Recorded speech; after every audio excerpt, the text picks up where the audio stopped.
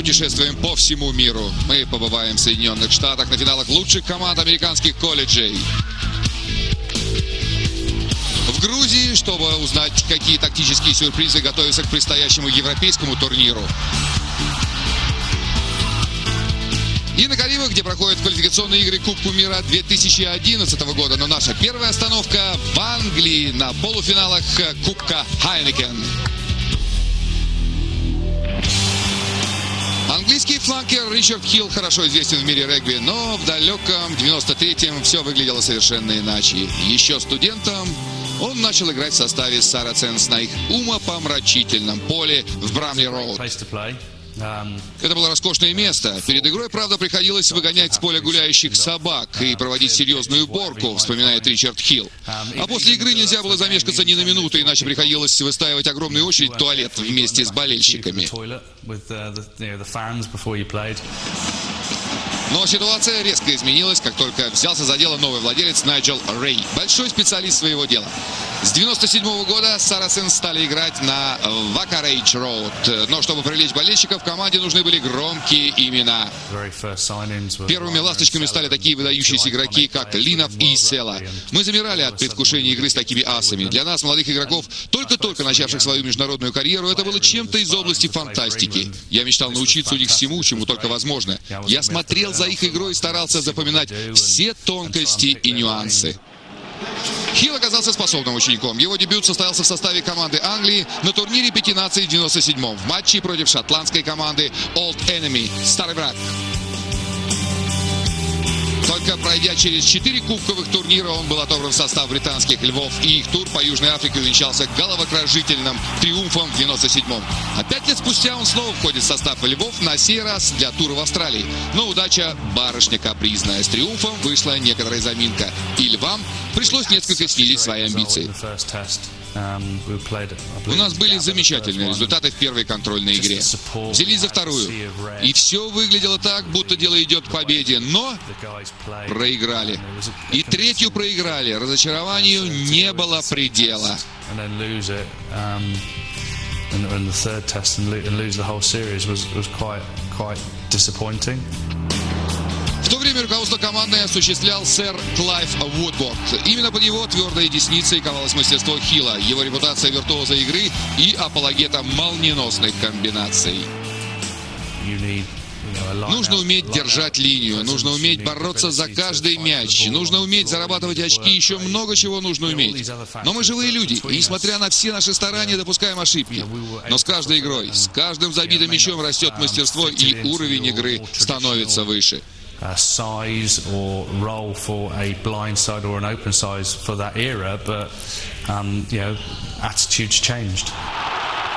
Единственный игрок, продержавшийся в команде, пока ею руководил Вудворд. Его значимость тем более стала заметна, когда он получил травму в начале мировых кубковых игр сезона 2003 года. Другого на его месте сразу бы отправили домой.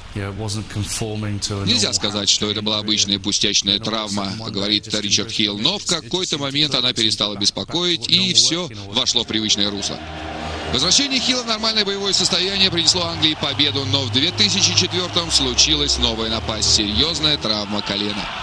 И несмотря на крутую реабилитационную программу, в строй он вернулся только в 2005-м. Я не мог поверить, опять та же самая связка. Это ж надо так умудриться. Я понимал, что восстановиться после повторной травмы будет очень непросто.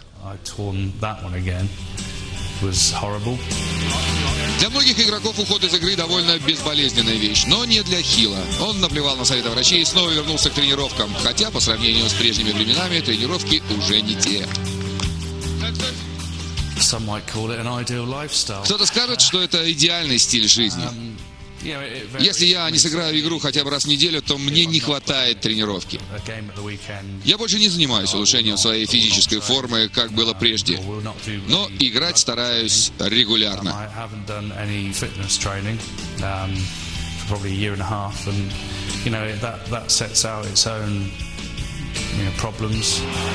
Многие из тех, с кем он начинал, уже задумываются об уходе на покой, но только не Хилл, который в очередной раз получил звание игрок матча в полуфинале против Оспрейс в Кубке Хайнекен и доказал тем самым, что есть еще порох в пороховнице. Европейский финал станет серьезным испытанием для англичан, но на данный момент они впервые в полуфиналах обошли Манстер. Болельщики Сарасенс надеются, что Одиссея их любимого игрока продолжится. Они даже договорились с ирландскими болельщиками вместе поддерживать своего любимца.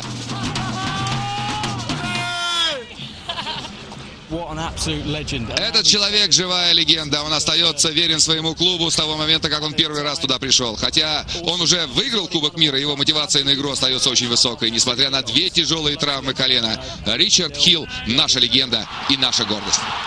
И похоже на то, что болельщики начали планировать свое путешествие в Кардив на финальные игры. Лондонцы лидировали благодаря удачному проходу крайнего Камели Ратуву, который в свою очередь был обеспечен слаженными действиями игроков задней линии.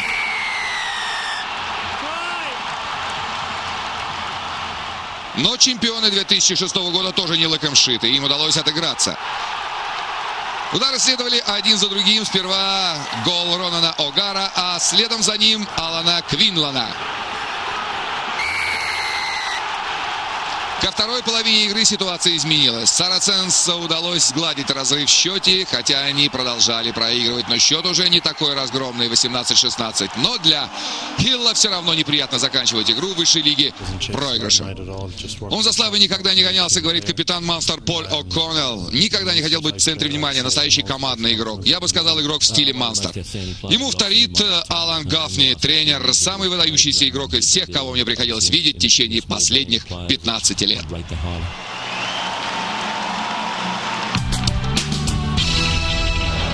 В другом полуфинале Кубка Хайнекен лондонский Айриш встретился с трехкратным чемпионом Тулузой на Твикенхэме. Это первое выступление английского клуба на подобном турнире. И после обмена штрафными ударами Экзельс вышли вперед э, благодаря блистательному проходу свингера Топси Оджо.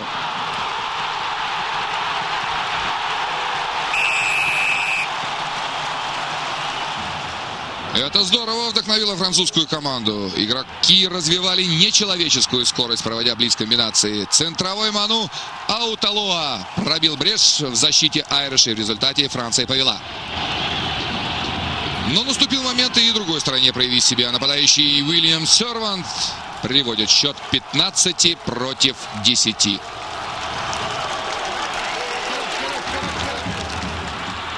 Но тучи уже сгущались над лондонским Айриш. Мастерство и опыт дорогого стоят. Несмотря на все усилия, французы удержали лидерство.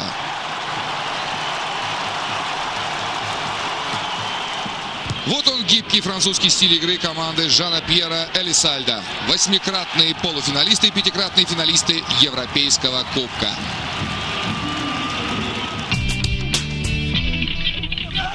Юниорский мировой трофи завершился на прошлой неделе. Восемь команд собрались в Чили.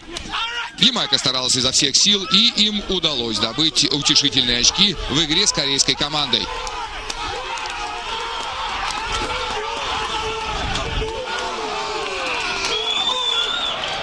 Мечты команды Чили о победе у себя дома осуществились. Им удалось выиграть у Румынии 14-3 на глазах у 5000 страстных фанатов. В результате они возглавили группу А. В финале Южная Африка обыграла Грузию со счетом 20-16 и стала первой в группе «Б». Этот выдающийся матч нам предстоит увидеть в журнале Total Rugby на следующей неделе.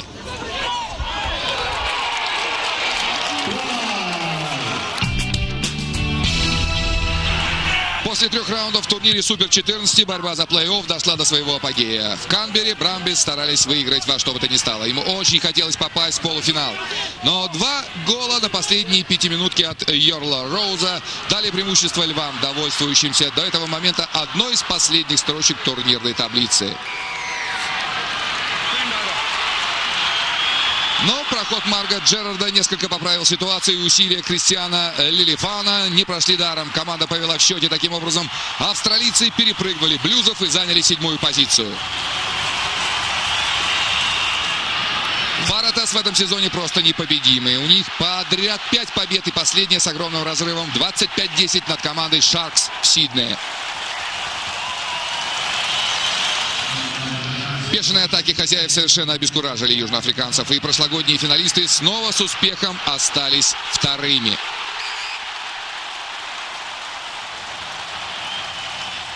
Варатас идут вторыми, а акулы прекрасно знают, что проигрыш возглавляющим таблицу Крусайдерс опустит их как минимум на пятую позицию. Впервые в этом сезоне.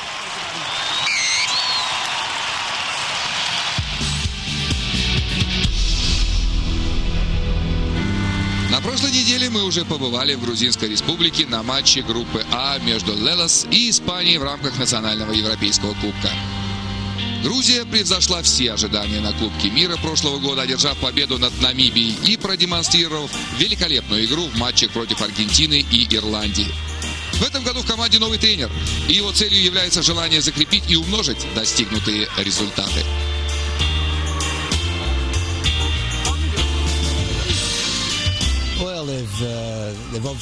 Команда действительно показывает отличные результаты, говорит Тим Лейн. И на Кубке мира э, выступали очень достойно, очень сильные форварды. А вот Беком прежде не уделялось должного внимания. Хотя есть в команде очень достойные думающие игроки. Они порой немного излишне экспансивны, но у них, безусловно, большой потенциал. Замечательная экспрессивная игра Грузии позволила ей одержать победу над Россией в самом сердце сибирских снегов и почувствовать себя настоящими чемпионами. Но им хотелось взять самую высокую ноту своего успеха у себя на родине перед толпой родных болельщиков, что, безусловно, придало бы их игре дополнительную изюминку.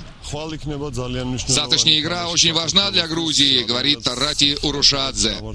Поскольку в течение последних двух лет мы проигрывали только испанцам, мы постараемся сделать все возможное, чтобы выиграть и доказать тем самым, что мы сильнее испанцев.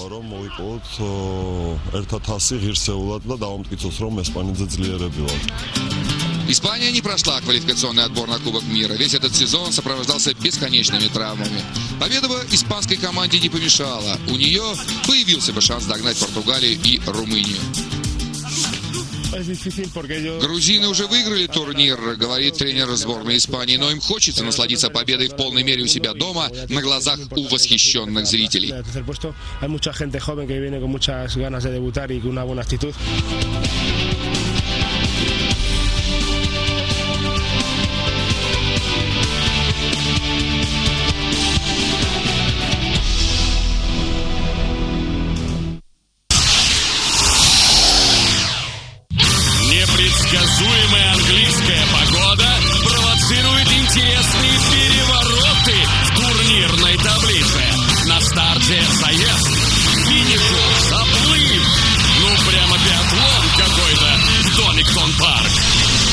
BTCC завтра.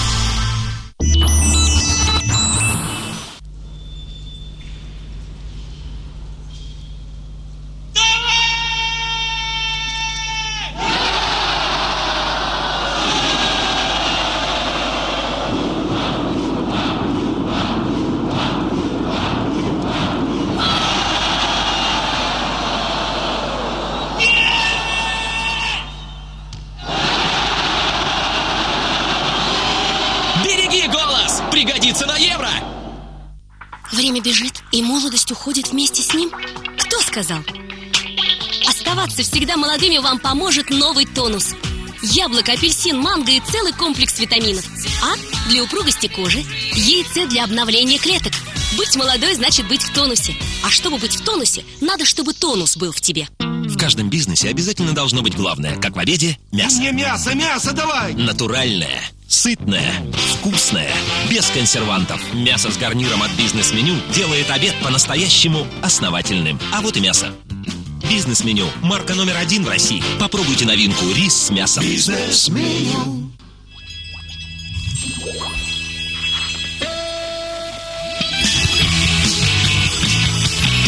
Фанта, выливайся!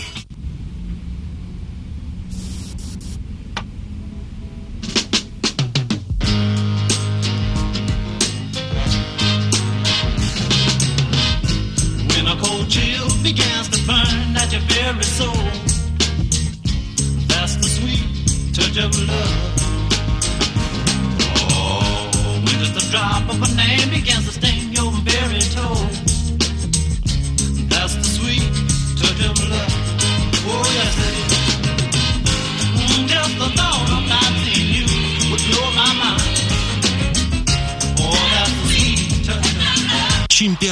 обваливанию цен в Эльдорадо. Чем больше купите, тем крупнее счет скидкам. Прогрессивные скидки до 60%. Цифровой фотоаппарат Kodak за 2699 рублей и купон на скидку 20%. Эльдорадо. Скидки что надо. Везде, где есть Мегафон, теперь есть доступ в интернет. Даже в роуминге. USB-устройство, сим-карта и специальный тариф, включающий интернет-трафик на полгода. Это Мегафон Модем. Стоимость комплекта от 2500 рублей с НДС. Мегафон. Все они западают на крутых парней. Подойди к ней и скажи «Привет, киска!» Взгляд хищника! Не давай ей спуску. Ты же мачо.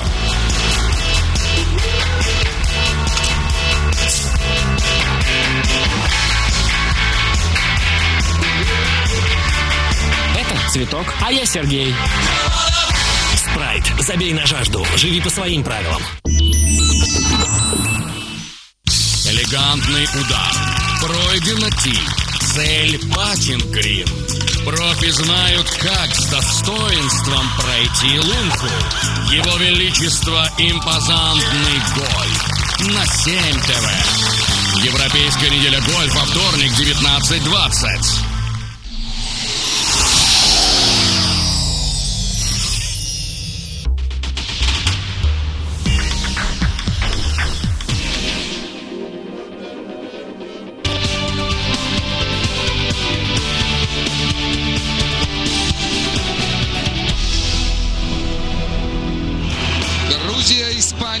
Первый матч на грузинском стадионе за всю историю существования Кубка мира по регби. И усилия, чтобы все было на должном уровне, были приложены просто неимоверные. Кроме этого, имеем в виду присутствие 15 тысяч болельщиков, которые готовы до хрипоты поддерживать родную команду.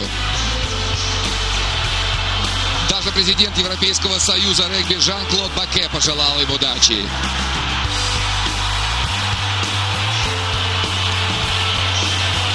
Решила удивить всех с самого начала игры. Не прошло и шести минут, как первая атака испанцев огорчила оборону Грузии.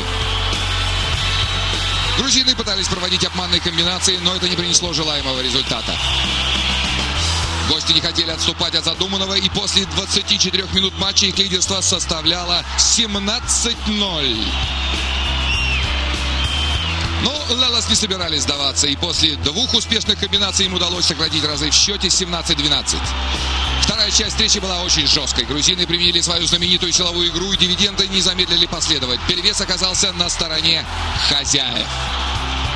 Итальянский рефери даже добавил 11 минут, не побоявшись рева разгневанных болельщиков. Но и эти 11 минут благополучно истекли. И всем стало ясно, что Грузия празднует свой новый этап развития национального регби. Волнительный момент для одного очень важного болельщика.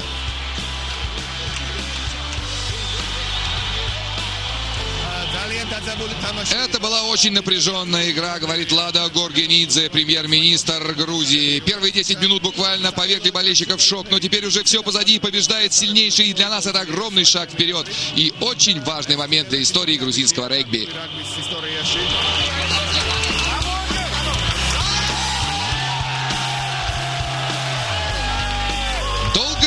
Триумфа выплеснулась на улице Тбилиси.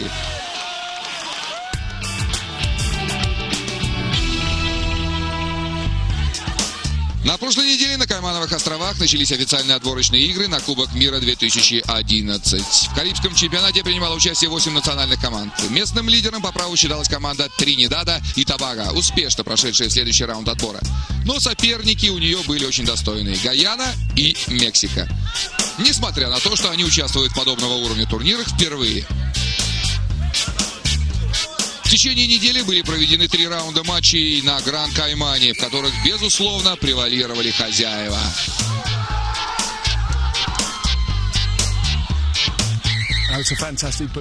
Это великолепная реклама для маленьких народностей, говорит Ричард Грис Адамс. Ведь нас всего 50 тысяч человек, а у нас есть возможность принять участие в открытых матчах Кубка мира, окунуться в волшебный мир регби. Праздник, погода, игры могут стать очень привлекательными для телевидения. В полуфиналах Тринидад и Тобаго подтвердил свой статус, одержав разгромную победу над Барбадосом и обеспечил себе выход в финал.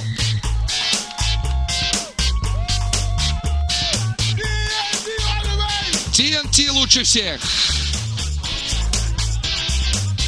Их оппонентами станет Гаяна, гордящаяся своими игроками, участниками западной и индийской семерки. Среди них Теодор Хенри, который уверяет, что сил им хватит не на одну победу. Это неповторимый карибский стиль. Большинство команд на Карибах играют подобным образом. Мы в основном полагаемся на силу и скорость, слово Теодора Хенри. На силу и скорость наших ног. И кроме этого мы очень уверены друг в друге и знаем, что ребята на задней линии никогда не подведут. Все восемь команд встретятся снова в последний день, и после двух напряженных раундов соревнований они с благодарностью окунаются в теплую воду кайманов, которые врачуют их ушибы и растяжения. Тони Спредбери тоже набирается сил после финала. Уберите это с моего лица. Это был его последний международный финал. Он переходит на новый пост Союз регби и футбола. Не трогайте мою спину. Замечательно окончить свою международную карьеру здесь, на Карибах. Это большая честь для рефери открывать игры. И очень важно провести финал. Последний матч я провел почти за два часа.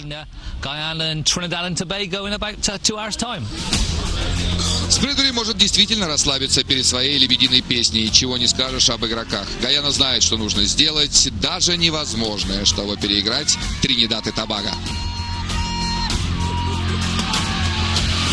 Они очень хорошо начали.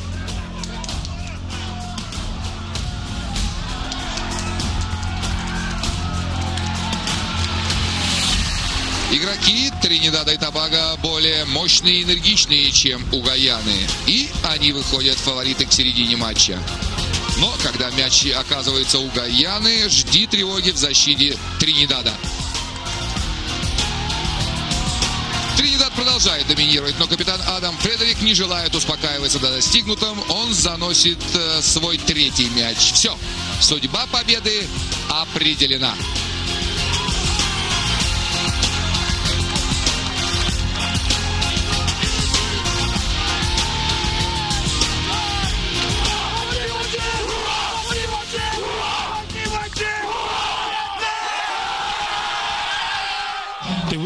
Они хорошо потрудились, говорит капитан Тринидада и Табага Адам Фредерик. Они много тренировались как клуб, а мы много тренировались как команда. И это ключевой момент. Играть как единая команда, исследовать единому плану. В игре с Гаяной нужно было показать максимальную скорость. И мы готовились к жесткой силовой игре, к молниеносным комбинациям.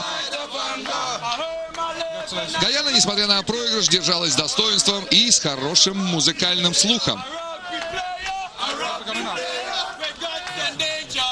Я зарабатываю на жизнь, играя в регби, играя в регби, играя в регби. Опасно и жестко. Тринидаду предстоит встреча с победителем группы Б Южной Америкой, и это будет следующий отборочный раунд Кубка мира.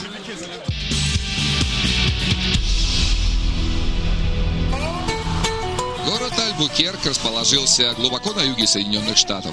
Основанный испанцами еще в 1706 году, он находится в центре пустыни Нью-Мексико. Тогда вряд ли могли представить, что это место станет рассадником регби.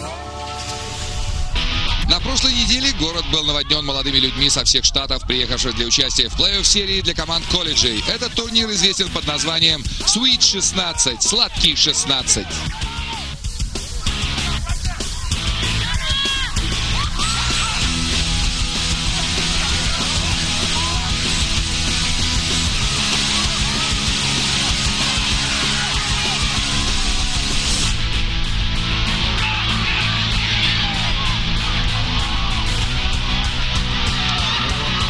Присоединимся к университету Сан-Диего, команде номер один от Южной Калифорнии. Ее тренирует Дэн Пейн, недавно работавший с известными зарубежными клубами.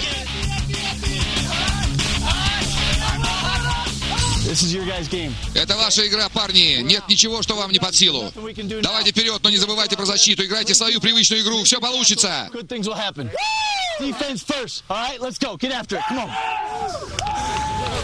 Первым соперником была команда номер один от Южной конференции, которая пробилась во второй дивизион плей-офф, имея лучший результат.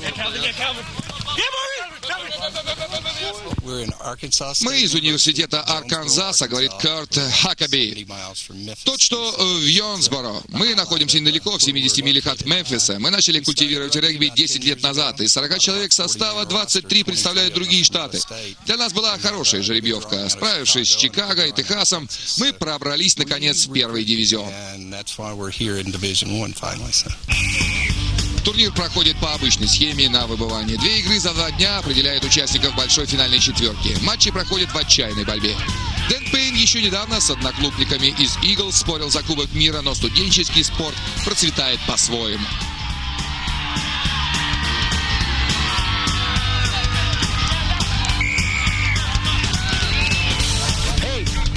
Эй, Джо, придерживайся игровой установки. Арканзас навязывал свою игру. Его форварды были по сноровисти, но игроки Сан-Диего, называемые ацтеками, все же повели 32-15 за счет нескольких быстрых атак от защитной линии. Настало время для подготовки к следующей игре против прошлогоднего финалиста университета Брикхэм Янг. Нужно успокоить ломоту в мышцах с помощью ледяных ванн. Чуть позже ты почувствуешь облегчение, но сейчас терпи, ты же мужчина.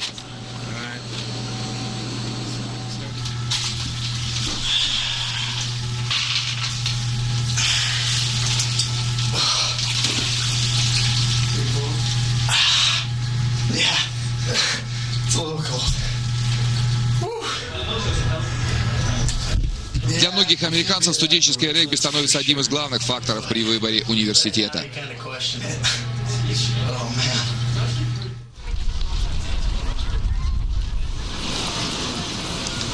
Теперь, когда регби завоевала популярность и стало весьма значимым явлением, многие абитуриенты, выбирая колледжи или университет, смотрят, где лучше, говорит Дэн Пейн. Перспективнее заниматься регби. Условия занятия становятся едва ли не решающими при принятии решений, куда идти. Капитан Сан-Диего Джо Фонтана. Четыре года назад мы встречались с университетом Аризоны в очень принципиальной игре, и нас поддерживали примерно 600 человек на трибунах. В такой отличной атмосфере играть одно наслаждение. Решающие игры студенческой лиги вживую транслирует телевидение Сан-Диего. Команда Юты очередной противник Сан-Диего в плей-офф. Первые 40 минут были проверкой на прочность защиты Сан-Диего. Юте помогал сильный попутный ветер и 20-0 к перерыву в ее пользу. Держите игровой задор, выше голову. Мы должны контролировать мяч. Победитель матча резервировал место в финале на следующий уикенд в Стэнфорде. Во второй половине ветер помогал уже Сан-Диего. Крайний нападающий Алекс Росс подарил шанс на шокирующую победу ацтеков, которая сначала казалась невозможной. Но, несмотря на территориальное преимущество, Сан-Диего так и не смог одолеть более искушенных оппонентов. Обе команды в концовке игры реализовали свои попытки, но Брикхэм Янг заслужил победу 37-14 и вновь пробился в финал, который, вероятно, станет повторением прошлогоднего.